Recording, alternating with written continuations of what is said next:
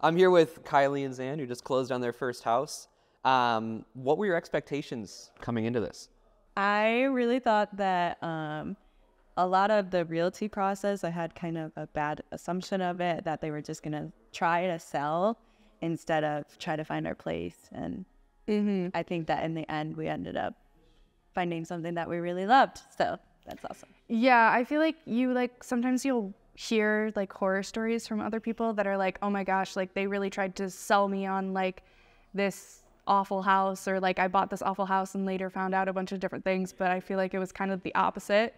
Bailey really went through the house and was like, "You don't want this house. Look at all these horrible things." And then was like, "Okay, we're going to show you a better house." And then the next house usually was better and it just progressively got better and better and Bailey still would be like, oh, like these things are gonna need fixed, but like if you're prepared for it, then it's pretty okay. Any advice now that you've gone through the buying process? Any advice you have for prospective buyers that are about to start?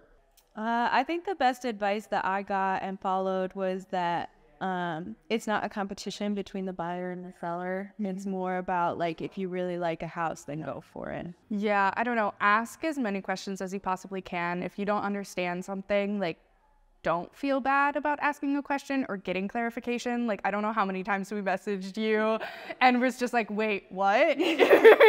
like, I don't understand this part. Can you explain it to us one more time? And you did. It was really helpful. And I feel like, along with what you said, like, it really does come down to if you like the house or not, not like if, I don't know, like, it's not. Not a competition between you and the seller. Yeah. So I'd much rather you have, or I'd much rather have you ask questions than be not in the know because that's not good. yeah. And then finally, how did you feel supported uh, throughout the process by me and uh, my team?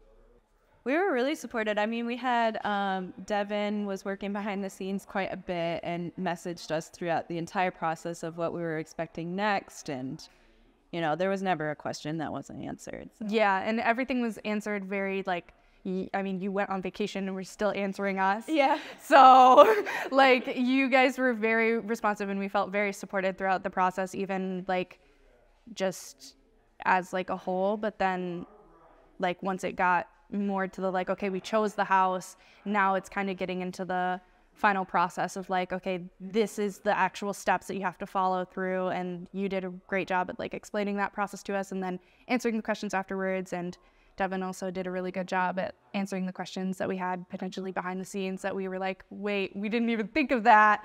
So that was really helpful. Awesome. I appreciate it. Mm-hmm.